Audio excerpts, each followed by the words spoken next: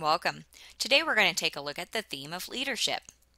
Our goals for today are to look at what leadership is, to evaluate the attributes of leadership, and to evaluate where a reader might see leadership while reading. Let's start by taking a look at what leadership is. Leadership can be where a person may guide or direct a group toward their goals. This may be a real person in real life, or it may be an invented person, a character in fiction. This can include the office or position of leadership, such as a manager or an executive. It may be the capacity or the ability to lead. Or it may be the action, the act, or an instance of leading others. It can include all of those things. Let's take a look at what the attributes of leadership are.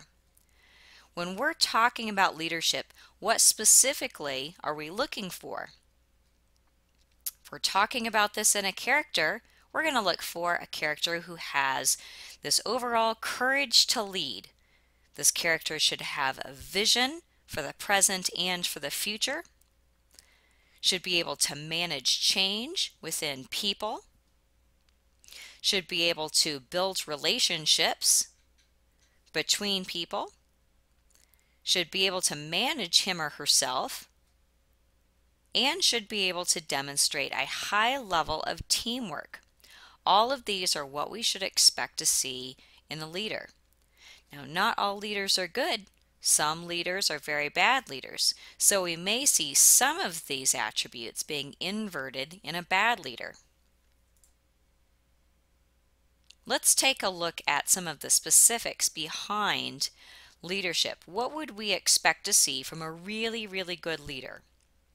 We may expect that that person would have integrity, so they're going to do what they say that they're going to do. They may have dedication, so they're going to follow through on what the goal is. They may have humility, to where they give credit to the whole group and not just to themselves may communicate really well to be able to get the group to move forward, have a sense of creativity to be able to find new solutions to problems, would include fair treatment of people so that no one is being bullied or harassed on the team,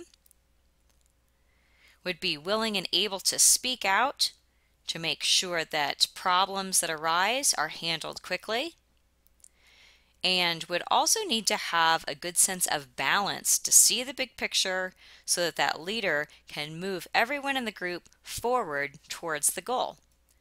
These are what we would expect to see in a strong leader. So what does leadership look like? As we are reading our stories, whether these are fiction stories, whether these are nonfiction stories, whether they're essays, blogs, a whole variety of different things, we're going to see the theme of leadership. What specifically will we be looking for? We're going to see characters who are moving people from danger to safety, who can help a community rebuild after a tragedy, who are fighting against oppression, who are turning a problem into a solution, and who are acting with knowledge.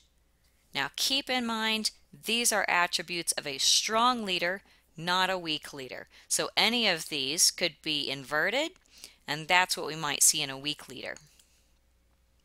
So how would you locate leadership?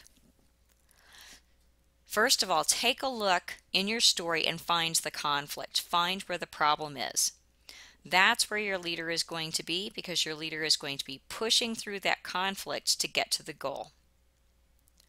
Which character is facing the conflict? Look for your protagonist or for one of the protagonists, and that's typically going to be a leader. Now, your antagonist may also be a leader, but it just may be a leader in a negative way. That form of leadership may come from an individual or from a group. It doesn't just have to be one person. Look for any kind of injustices or unfairnesses that are occurring. It will require leadership to get through those things.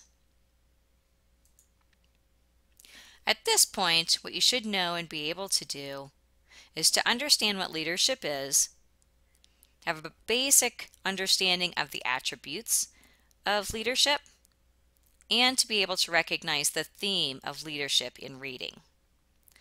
I hope this information is helpful to your reading. Good luck to you.